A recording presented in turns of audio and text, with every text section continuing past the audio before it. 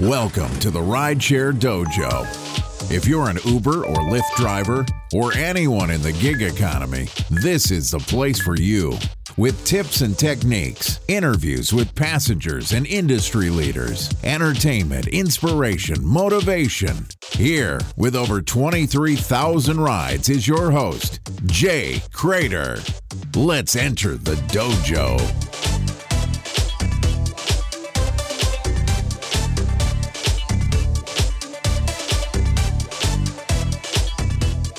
Hey, everybody. Uber drivers, Lyft drivers, Instacart drivers, Postmates, Ease, Zoom drivers, DoorDash, Via, Amazon Prime, Amazon Prime Now, Uber Eats, Grubhub, all you drivers and passengers, and all of us who are part of this big, beautiful gig economy, welcome.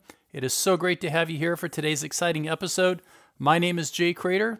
Let's enter the dojo. All right, all right. Welcome to the dojo. Today is uh, Jay Reads the News, and I've picked out, let's see, one, two, three, four, five, six articles that are interesting if you are a driver. On a second, let me have a little sip of my Nespresso. It is today, Tuesday, Tuesday, the 4th of February at about uh, let me look here on my Fitbit app 2:34 in the afternoon. And it's uh, gosh, there's a lot going on. A lot going on in the rideshare industry. So, where are we going to start? Let's start with this one. CNBC as coronavirus panic spreads, Uber and Lyft drivers of Asian descent are reporting discrimination from drivers. Oh, drivers, you are not doing uh, doing a service to the rest of us and to our Asian brothers and sisters. All right, if you're not familiar with the coronavirus, I, do, I know a lot about it because I was just in, in Thailand. And when I was in Thailand, everybody's wearing a mask over their face, right? Uh, first of all, they do that anyway because the air quality isn't great, and um, and uh, China, which is what a thousand miles away from Thailand, uh, has this uh, was the kind of the birthplace of this coronavirus, and it's become kind of a, a panic. So, what I've read about the coronavirus is it's like a flu, and uh, really, if you're a healthy human being, it's not going to kill you. It's going to be like a flu. And, um, but if you're young or old, you know, then it could cause death, um, like a flu. Um, but apparently, this can spread very, very fast. So there's a concern that, you know, so many people are going to get this that there's going to be a huge number of deaths. And that's why there's such a concern. So, what this article points out is that um, um, Lillian Wang was told by a Lyft driver who picked her up at the San Francisco airport that he had refused rides from people with Asian sounding names. Other riders shared similar experiences as fears about the, vi- the coronavirus spread. Lyft and Uber say they have policies that are designed to curb discrimination. Well, the policy is you pick everybody up, right? Um, now, I don't always pick everybody up. I have actually not picked somebody up if I thought they were so inebriated they were going to they were going to uh, spew in my car. Um, I've done that twice. Uh, both times the person could hardly walk, and uh, I I looked at them and I could see as they were walking towards the car. Um, actually, one guy he couldn't even get to the car. He was leaning against the telephone pole, and he went to take a step towards the car, and then he kind of fell back into the pole and that was enough. And then the second time I didn't pick somebody up, uh, it was a man and a woman, and the woman fell on the ground, and then the guy fell on the ground to help her up. And I was like, no, no, you're not gonna, you're not gonna uh, puke in my car. Uh, get the next person. But that's not discrimination. That's just good business. Not picking somebody up because they're they're Asian looking uh, is, is discrimination. And, um, you know, anybody, anybody who came from China, from the Wuhan area, whether they're American or French or Asian uh, could could have this virus. So, you know, it's not just people that look Asian, uh, because it's people who ca- who came from from China uh, to America, which, believe me, is not just Asian people. It's uh, people like me, right? And what I heard was that now people are getting uh, scanned at the airport. So I got kind of lucky because I missed the whole scanning process, which could have added a whole lot of extra time to my travel because my plane had a layover on the way back. So on the 30th, I flew from Bangkok to Hong Kong and I was in the airport the whole time. And then from Hong Kong, I flew to San Francisco. And uh, some people told me I was going to get, you know, checked out when I got to San Francisco, but that that didn't happen. Um, even though I was sick, even though I had a you know uh, flu symptoms, um, nothing happened. So my recommendation here is don't discriminate against Asians because um, there's just as much a chance that a Caucasian person has this as uh, as an Asian person. So um, just do the right thing. Next uh, article is by uh, let's see, Decrypt Decrypt.co, and uh, the name of the article is the the decentralized ride sharing disruptors taking on Uber.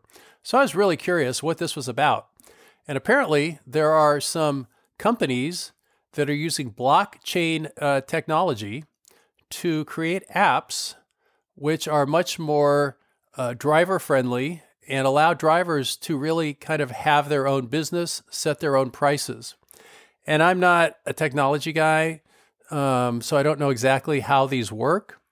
Um, but there's a company called Drife, D R I F E. It says Drife is one such app built on the EOS blockchain. It concluded around, like other decentralized ride sharing project, it claims to be giving back the power to the value creators. Its business model is built on taking zero commissions from the drivers.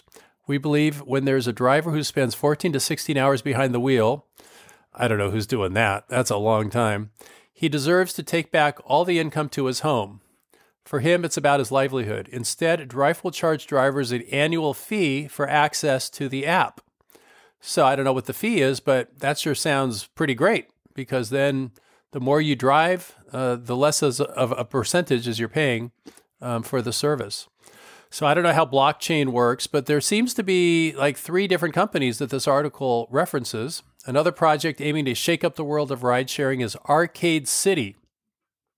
Arcade City. And uh, let's see, founder Christopher David conceived the idea for Arcade City while working as an Uber driver. After finding that Uber's terms and conditions wouldn't let customers exchange contact information with drivers, right? That was launched in Texas in 2016. So it seems as that as the technology is improving, uh, these companies are trying to uh, create something which could be really special for drivers. So I wanted to share this with you because it gives me hope, you know, that there's more than just Uber and Lyft in the way that those companies are working. There are people out there, smart people, putting together these businesses based on a different technology, which would allow us, the drivers, to kind of have our, our own businesses and not be dependent on an Uber or a Lyft to set prices and terms and conditions and all of that. So um, that's pretty encouraging. All right. Next one is uh, written by Vice, and it's called uh, Gig Workers Have Nowhere to Pee. Nowhere to pee. We're spending more money at restaurants than a customer would spend on the same order, and many of us would just like to wash our hands when we pick up food. So, uh, somebody I know, Christian Perea, uh, he used to work for the rideshare guy. Now he's doing his own thing. But uh, he posted uh, photos of Vivi's Cafe, which is a restaurant in Redwood City, California, that refuses to allow Uber Eats and DoorDash delivery drivers to use its bathroom. In the tweet, Perea said, "This is how many restaurants restaurants treat gig workers for their companies like Uber Eats and DoorDash as subhumans." And if you look at the picture, it shows uh, the bathroom, you know, man and woman restroom, restrooms for customers' use only, and then there's a piece of paper taped under that that says, and it's just like written with a Sharpie. It says, do not use if you are a driver. Wow. I had no idea this was this was going on. But apparently there's a, a lot of restaurants that are operating this way. So, um, let me see. This uh, there's uh, I'm not ashamed to pull over and pee behind a building, and I'm not shy. If someone were to ask, I tell them why. I also keep a spare cup in the car just in case. Okay, so that's pretty hardcore. Uh, that person remains anonymous. Uh, uh, so, you drivers out there, you know, sometimes you know you just got to go. Um, my strategy has always been to go to Starbucks. So I carry a big, uh, you know, a Yeti uh, mug, my Yeti mug, and uh, and I do go to Starbucks uh, twice a day uh, to get a drink. And if I have to go just to use the bathroom, I walk in with my cup, and uh, I've never had an issue. Right? I've never had an issue, and I feel for the amount of money that I spend, you know, weekly at Starbucks, I should get bathroom privileges. So, and Starbucks are virtually everywhere.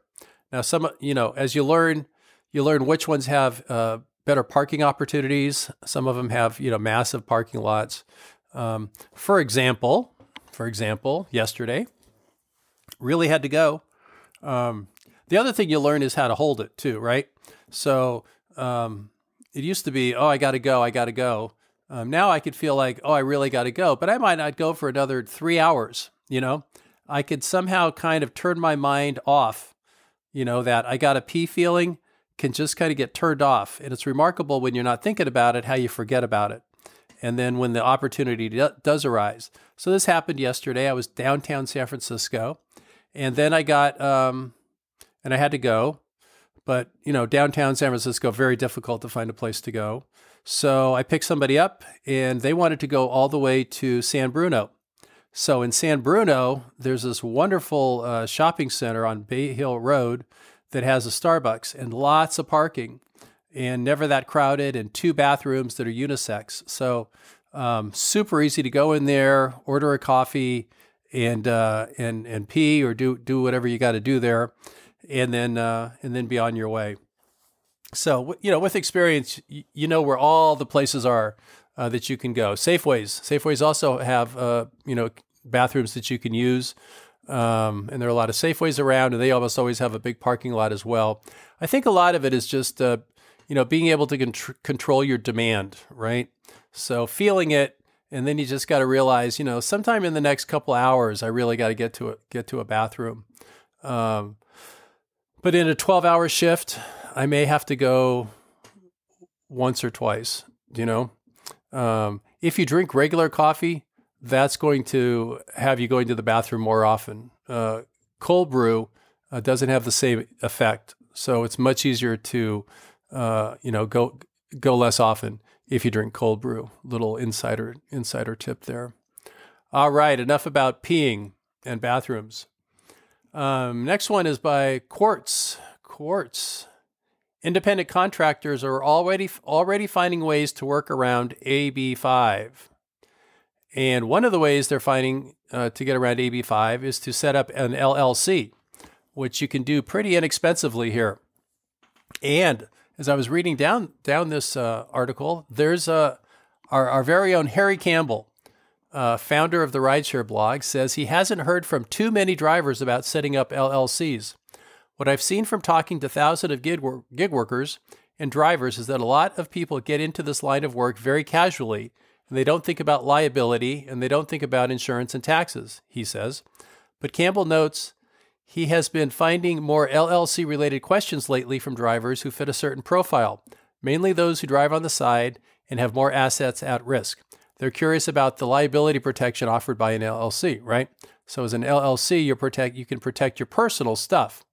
I have an LLC, um, so I'm I'm actually quite familiar with it, and I've had this LLC since 2008. Campbell says the LLCs could be an option for more drivers in the future, especially if companies like Uber and Lyft lose their ballot initiative and AB5 related court battles.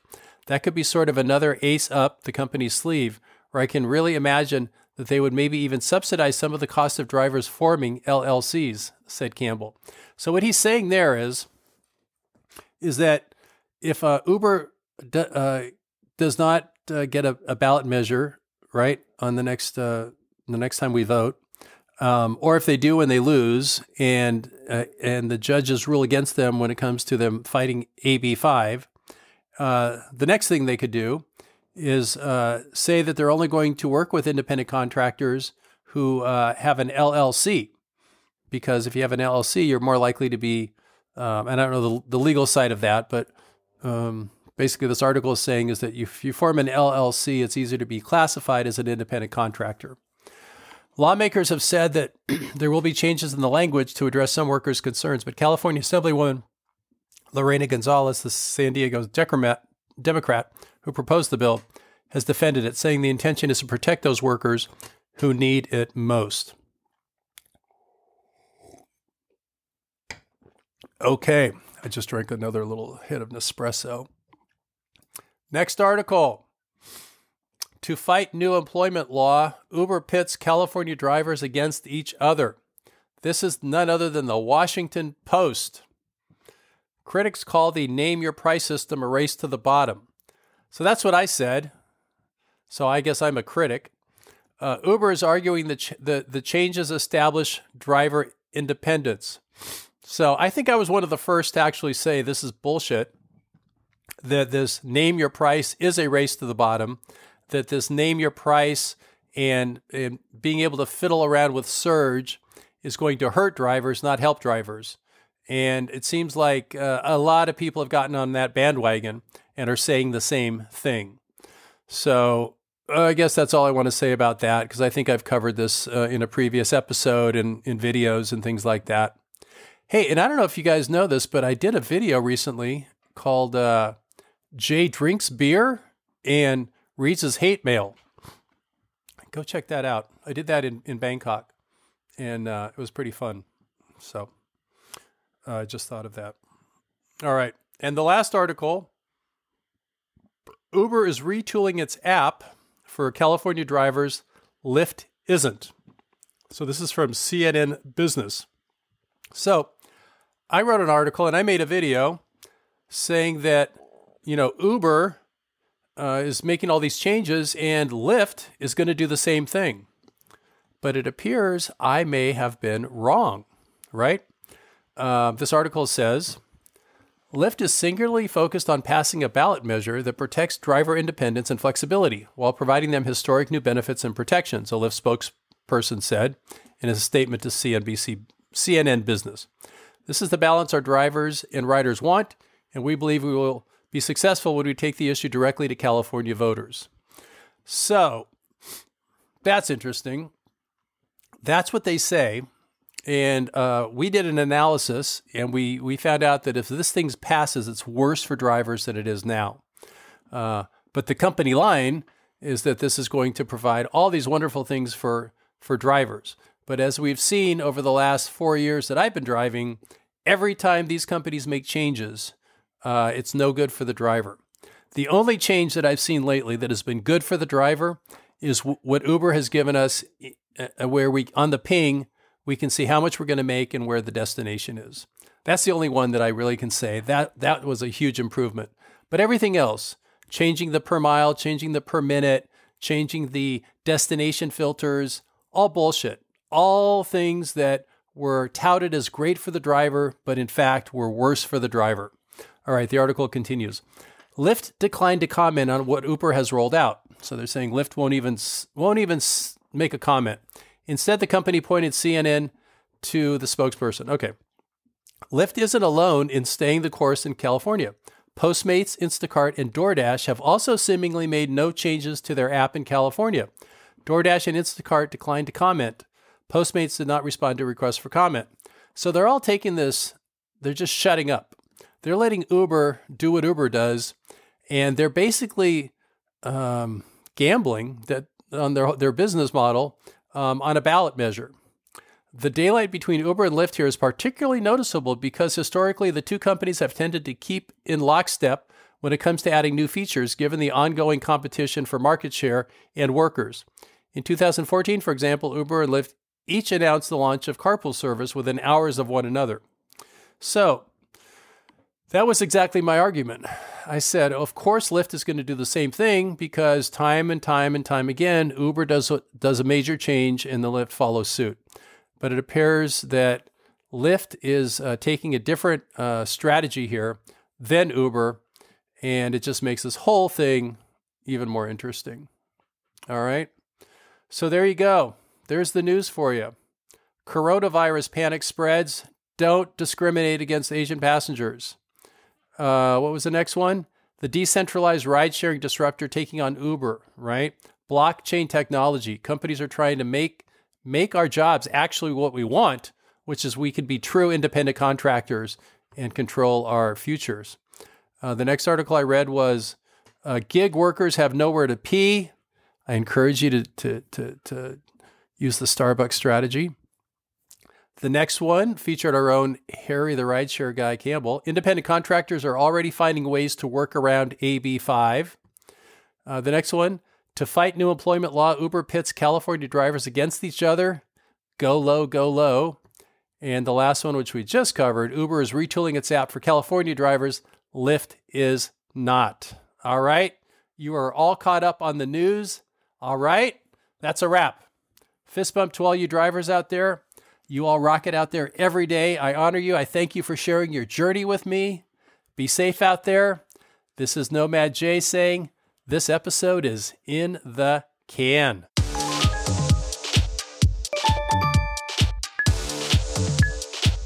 Loved this episode of the Rideshare Dojo podcast? Head over to iTunes to subscribe, rate, and leave a review. It really helps and it's very much appreciated.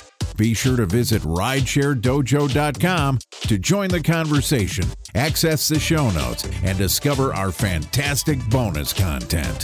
Thanks for listening and be safe out there.